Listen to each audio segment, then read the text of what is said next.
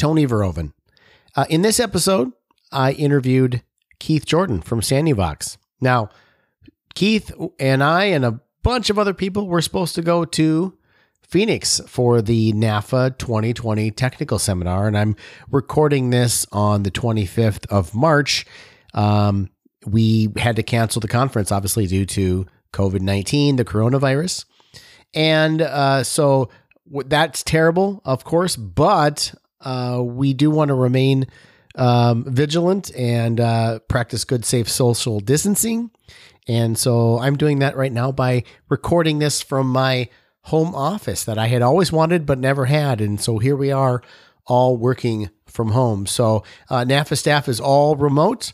And uh, and so know that we're taking good care of you, and you guys t- take good care uh, of of customers out there. I know you guys are doing some really important work out there in uh, changing filters and uh, keeping those facilities out there safe. So great job. Thanks so much.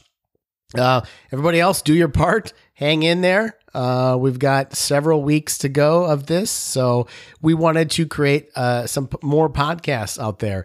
In this episode, we do reference and promote the conference. So disregard that, plug your ears when that comes around.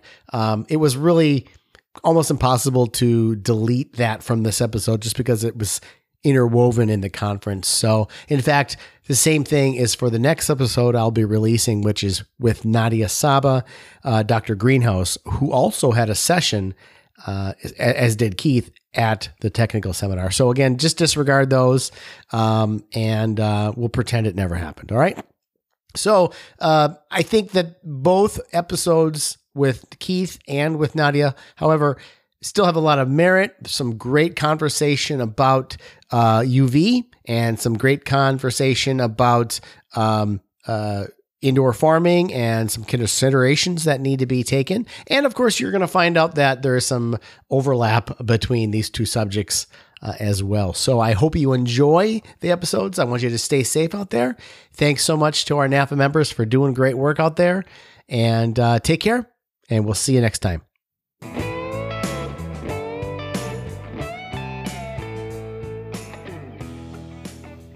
Hi, it's Tony Verhoeven with the National Air Filtration Association. I'm here with Keith Jordan of Sanuvox. Hi, Keith. How are you?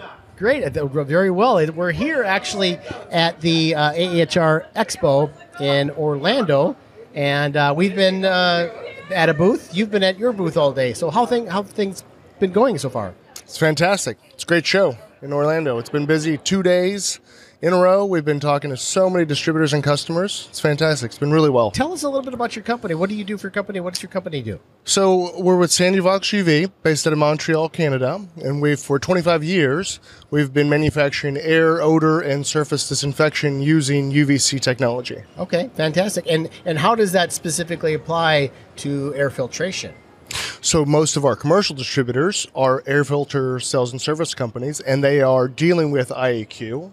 And UV is just an extension, a synergistic technology with filtration. So it's Okay. a perfect blend for them. Because people usually don't think when they think air filtration, they're thinking particulate, they're thinking Correct. air fil- media, and then some people might think UV is like the separate application, but it really kind of goes hand in hand, then, right? It it, Okay. it it used to be a separate application, but it does really go hand in hand because uh, filters can capture, but they can't kill. We can kill, but we can't capture. yeah, yeah, okay. So it really, uh, if you look at the the the uh, research behind the filtration, there's a most penetrating particle where there's a weakness in the filters, but we can bridge that gap.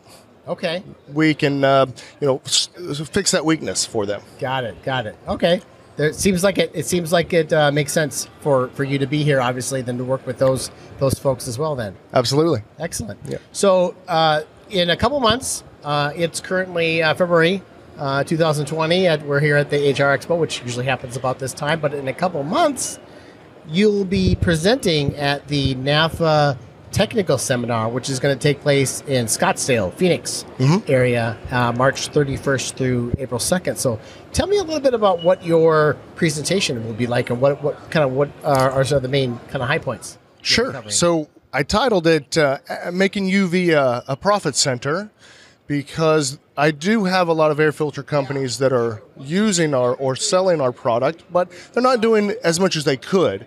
And so I'm thinking what they're lacking is a education, being more comfortable with the technology, but also knowing which applications we can can shine in no pun intended, but which applications they can focus on.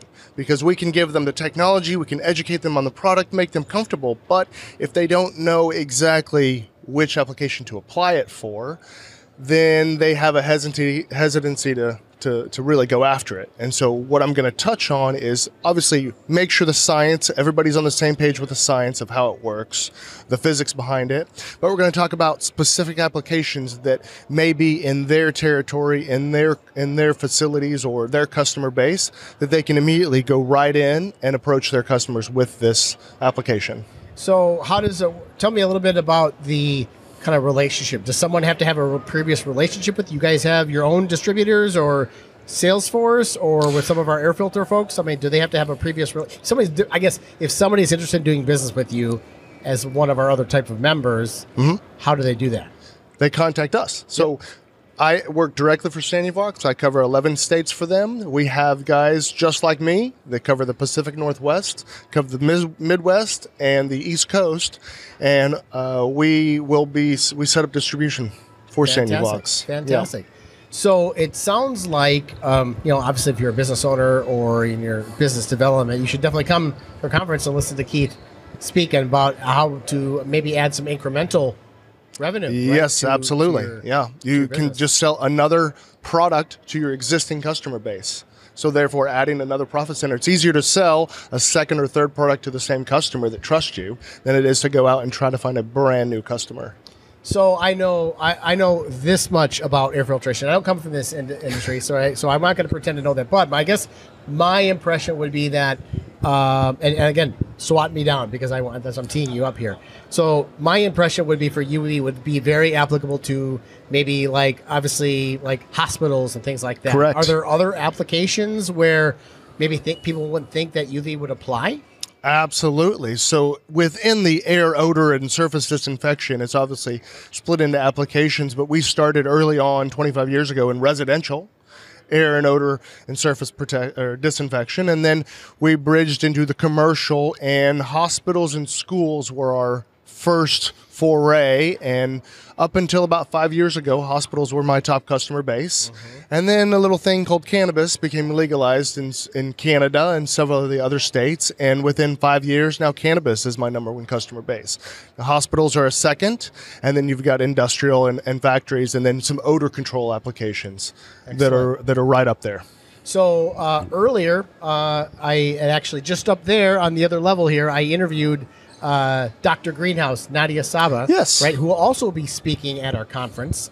And so uh, she's involved in helping uh, indoor farmers, right, build operations, and part of that is, involves um, uh, does involve cannabis. So, yep. what kind of application? What are some of the concerns that a cannabis grower or other types of agri- indoor agriculture mm-hmm. might run into, and why would they need to apply UV? Sure. So, on the UV side, there's a fungus called powdery mildew that attacks the plant. And because they have adopted the regulations from the smoking industry where you cannot use harmful pesticides, which is what they use in produce to, to fight powdery mildew, they can't use that. They have to use fungicides. Fungicides are not strong enough to defeat the powdery mildew, so a lot of the guys are looking for a chemical free solution. And that's right where we have uh, inserted ourselves. Fantastic. Mm-hmm. Well, very cool stuff. So, I think you should definitely come to see Keith at the uh, NAFA technical seminar and see Nadia and Keith both speak, which seem I, I didn't intend that, but seems like there might be. We've worked crossover. together. I work with Nadia. Fantastic, yep. fantastic. Well, thanks so much, and uh, we'll see you in a couple months. Absolutely. Thanks so much. Thank you. For more information about how the National Air Filtration Association's membership, networking, education, and certifications can improve your career and business, visit nafahq.org.